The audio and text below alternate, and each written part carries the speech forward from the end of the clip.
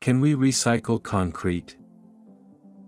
Concrete can be recycled by grinding it up, then using screens to separate fine and coarse materials, magnets to remove steel, and water flotation to remove other unwanted materials.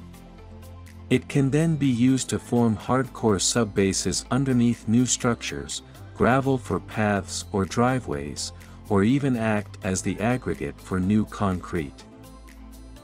It's harder to recycle concrete if it contains lots of contaminants, but it's really worth trying. Recycling means less gravel mining and less landfill, so recycling 1 ton of concrete could save 6,182 liters of water and 900 kilograms of CO2. Sometimes only about 30% of the materials in new concrete is recycled, because its performance may otherwise be reduced. But new processes using chemical additives can help break down old concrete into sand, gravel and limestone, sequestering 60 kilograms CO2 per ton and enabling much higher quality new concrete to be made from recycled materials.